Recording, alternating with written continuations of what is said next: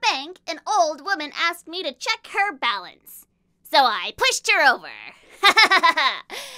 What's a bank? That joke will never not be funny to me. Hello, my beautiful Madi squad. My name is Madison Brunoehler, also known as Madi to the Max, and welcome back to me doing impressions. And this week I am going to be doing pun impressions number nine. Yay! And per tradition, this is my geeky T-shirt. That's right. I have my own merch! Hello, my beautiful Madi squad on the front. Don't you forget to keep smiling on the back. And in between those two things is just a really fun time.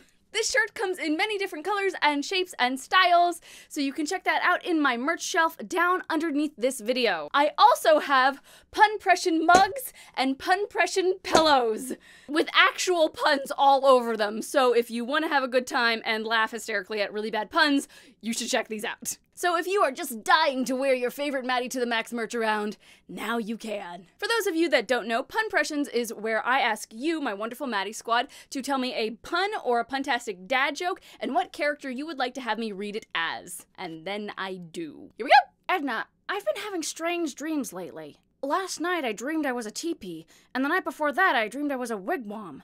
Do you think that means anything? Oh, it's obvious, darling. You're just too tense.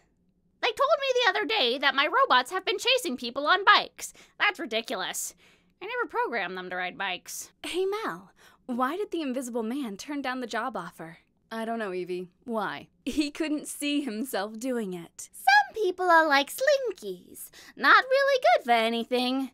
But it sure feels good to watch them fall down the stairs.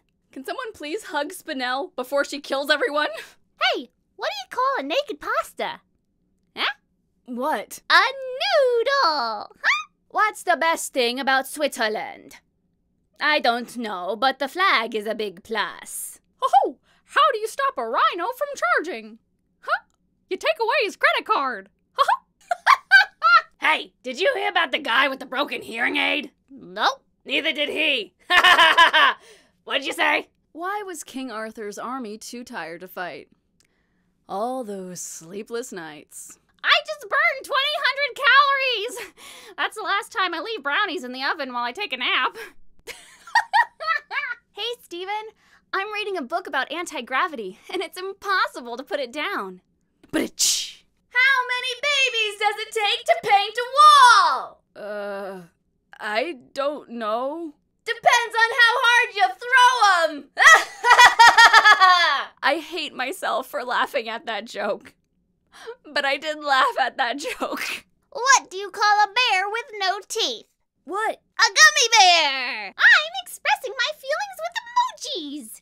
I'm emotional! If Pinkie Pie hasn't actually said that already, it's a travesty.